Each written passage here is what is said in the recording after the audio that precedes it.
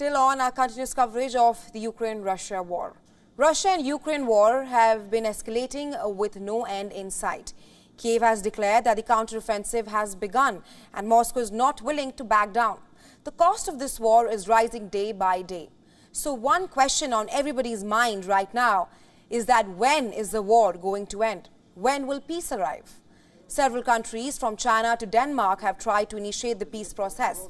One country that has now thrown its hat in the peace ring is South Africa. President Cyril Ramaphosa briefed the Indian Prime Minister Narendra Modi about African leaders' peace mission. He also informed his Chinese counterpart Xi Jinping about the same. A six-member African delegation will visit the conflict-ridden countries this month. It will include the leaders from Republic of Congo, Egypt, Senegal, South Africa, Uganda and Zambia. Remember, the African countries are battling rising prices of grain since Russia invaded Ukraine. Denmark has earlier, Denmark, pardon me, Denmark earlier said that it would like to host Ukraine Peace Summit in the month of July. But it emphasized on the need of engagement from the countries like India, Brazil and China.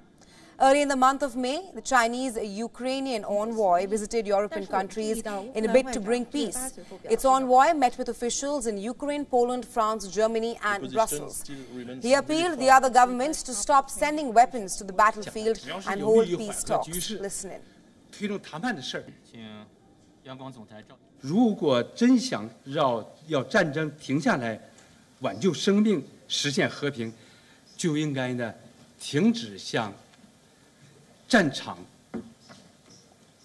输送武器，否则只会不断推高紧张局势、螺旋式上升的这个风险。Beijing had also proposed a peace plan in February, but the Western powers insisted that Moscow must withdraw the Russian forces from Ukraine.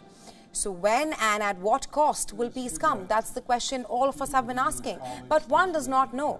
But certainly a major part of it depends on the main man, pardon me, on the man sitting in the Oval Office. Ukraine has become the top recipient of U.S. foreign aid since February 2022.